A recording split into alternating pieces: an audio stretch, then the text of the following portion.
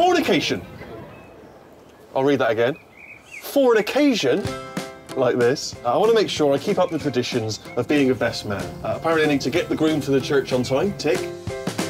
Uh, I need to remember the rings, did that. And I need to have sex with a bridesmaid. Whee! I, to be fair, I maybe when they're older. Happy 10 day anniversary. What is it? I saw you looking at it online the other day. Two Asian lesbians and a man who looks like a fat Jesus.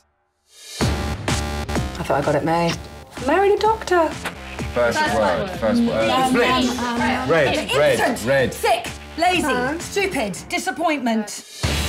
That was nine months ago, and it's just something in our marriage that hasn't quite gelled. You realised you'd married beneath yourself. You thought you could be someone better looking, better body. Uh, no. No. Right, so were there terrible sexual problems? Chloe's lovely. I don't know how you let her slip away. No, she's too nice. She's too perfect. Holy sh.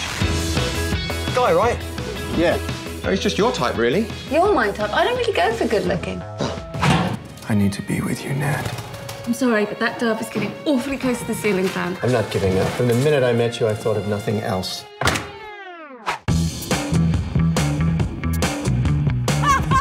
That's Kind, boring, warm, warm. Put the radiator on if you want warm. Good with kids. So was Michael Jackson.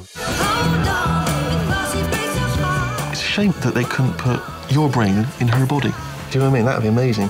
Although you'd be left with her brain in your body. Imagine that. Oh my god, it's like Frankenstein, but with like boobs. Ah. Nah, joking. I'd do you.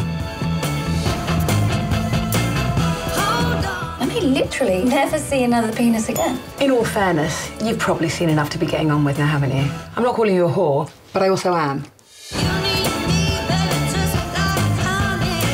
Digital photo frame. We've got a camera on us. We'll have to try it out later. So that's Morocco, that's the hotel, and that's. Oh, that's doggy style.